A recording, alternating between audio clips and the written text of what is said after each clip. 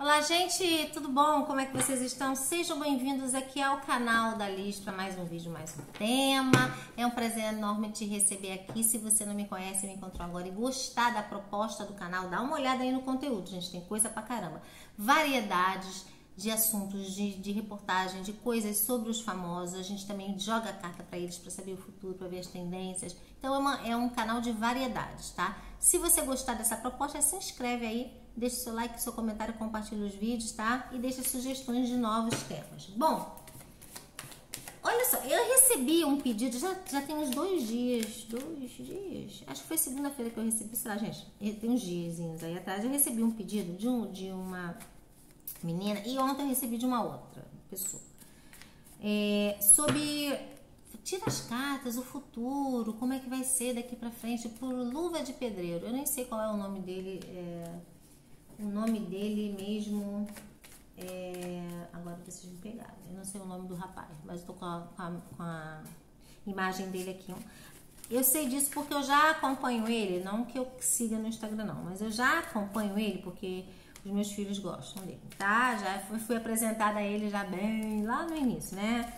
Pai, Filho, Espírito Santo, amém? Aquela coisa toda. Então o pessoal sempre seguiu muito ele. É um menino é, simples, um menino humilde, é um menino, é, como vocês veem aí, de certa forma até um pouco puro, né? Um pouco bobo, né? Bobo, entre aspas, né?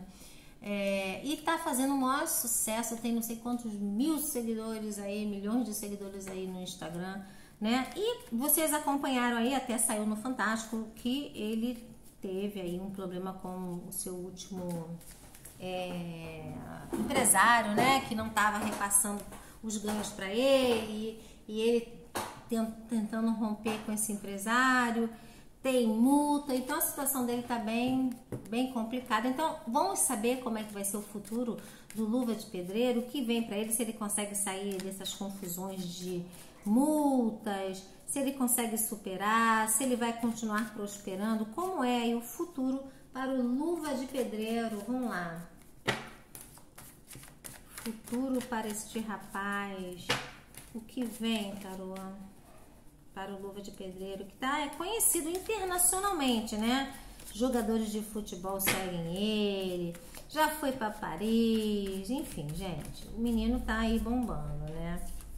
Valete de copas, falando de como ele é, um menino novo, cheio de desejo, é um menino bom, tá? De bons sentimentos. Vamos lá. Luva de pedreiro. Hum.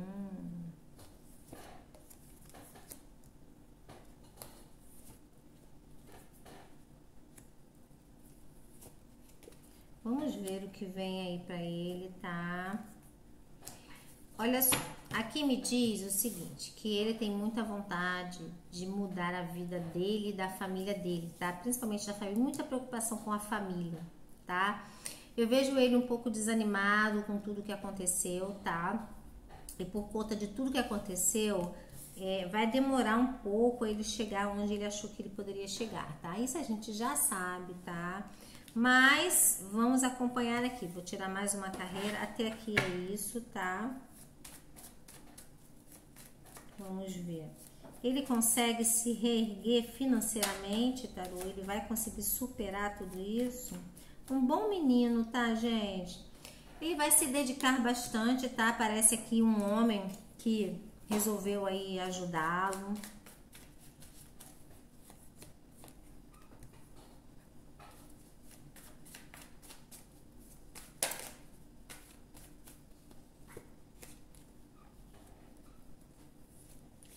Sim, gente, eu vejo sim, ó, mudanças no caminho do, do, do Lua de Pedreiro, tá? Du, duas pessoas aí ajudando a ele, um rei de paus e um rei de copas. Ele se dedicando bastante ao trabalho, parece que uma nova equipe está tomando conta aí das coisas dele, vai reorganizar a vida dele, tá?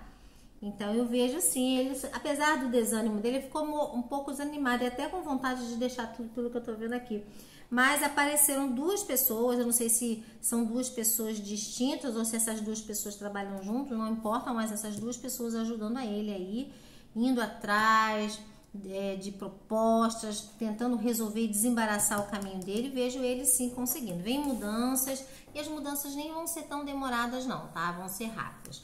Porém, ele achou que já, né, que ia ajudar a família dele mais rápido, mais por isso trouxe um desânimo para ele, uma vontade de largar tudo, mas agora eu vejo ele mais equilibrado e essas duas pessoas aí é, ajudando a ele a se reorganizar, tá? Vejo muita ajuda da espiritualidade aqui também, tá? Na vida dele, tá? De certa forma, um, um menino que ele, tudo que ele tá tendo é um merecimento dele, tá? É um merecimento desse menino, porque ele saiu lá do fim do mundo, né? A gente se tornou conhecido do jeito que ele tá. É um grande merecimento que ele tem para essa vida. Ele veio para nessa vida, nessa encarnação, com esse, com essa oportunidade, né, de mudar a vida dele. Vamos lá.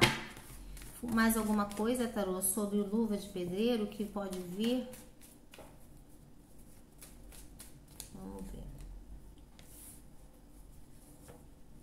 Aí, as coisas terminando bem no trabalho. Vai ter problema na justiça, tá? Isso aí não tenha dúvida. Vai ter problema na justiça. Vai ter que, é, de certa forma, aí é, pagar algumas coisas, tá? Mas de novo, a carta do Papa é aquilo, gente. Aqui me diz que ele vai ter que se enfrentar alguns processozinhos na justiça, tá? Mas ele consegue vencer, tá? Algumas coisas que estão ocultas serão reveladas, tá?